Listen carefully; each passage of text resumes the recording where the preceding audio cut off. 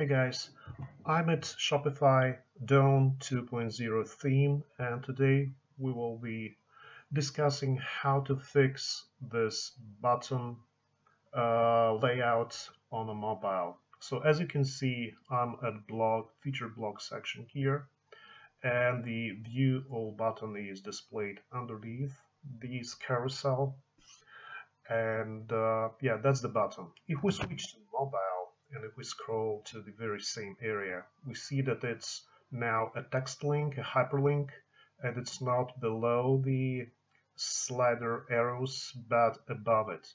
So our goal is to show how to turn it into the button so it be displayed the same way as any other buttons uh, on the homepage as well as to reposition it underneath the current arrows if needed. So uh, first step, we need to go to the current theme and go to edit code and find an appropriate liquid file. In this case, it will be blog.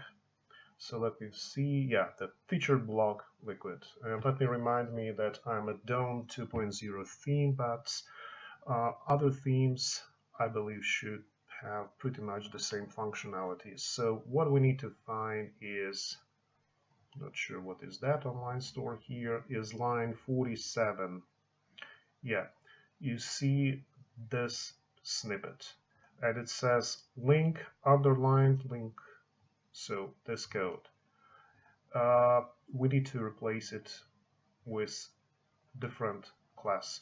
So I'm copying that over everything here paste it into my notepad. Uh, so it's looking like that then instead of this part link underlined link I'm replacing it with this class button button primary. Uh, make sure to leave this large up hide in class otherwise on the desktop you will have a duplicate button. Uh, okay so we have a ready snippet like that. Now uh, that snippet, if we place it, will not be displayed accurately. And let me show you how. So uh, let me copy this class over and replace it in the live theme right there. Okay, link, underline link. Okay, let me save it and then refresh the page on mobile. Okay, so as you can see, the button now appears instead of the hyperlink text. So first task is fulfilled. Now, you may be okay with uh, showing like that, but my goal, my end goal would be to reposition that underneath these arrows. So the next thing we need to do, and I'm going back to my notepad, is wrap this uh, snippet that we created before, well, changed before, modified before, with div class.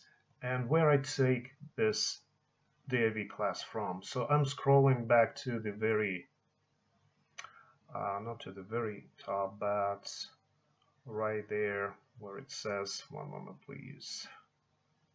Oh, my bad. Okay, you see div class title wrapper with link. So let me just copy over this whole class, okay? And uh, I will paste it just above my snippet right there, like this, and then we'll add the closing div tag. So I'm copying that over, and then I'm looking for slider component, okay? So I need to place all that after slider component. So going back here, I'm just, uh, I need to delete this whole part from here, otherwise it will appear twice. So I'm deleting it from here.